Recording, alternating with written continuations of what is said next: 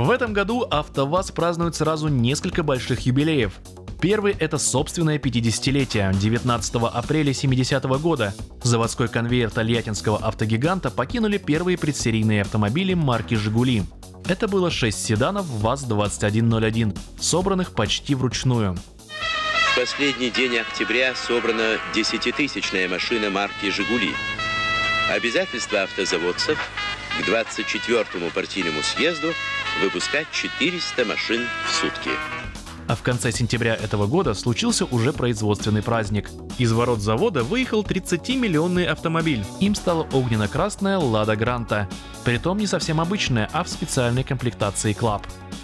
Любопытно, что юбилейный экземпляр не будут продавать или дарить, как это часто делают другие бренды.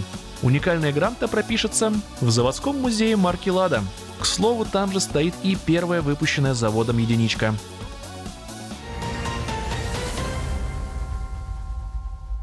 Вдобавок, АвтоВАЗ похвастался несколькими производственными достижениями. В частности, российский автогигант провел большую модернизацию линии сварки, где делают кузова пятидверных внедорожников «Лада 4 на 4 Площадь сварочной площадки уменьшили в четверо, при этом линия, по которой проходит кузов, стала короче. Часть операций теперь выполняется на одном посте вместо нескольких. Кроме того, выросла автоматизация процессов. На линии появились сразу 6 сварочных роботов. Они заменили людей, до этого варивших кузова вручную. Это значит, что качество пятидверных внедорожников обещает стать заметно выше.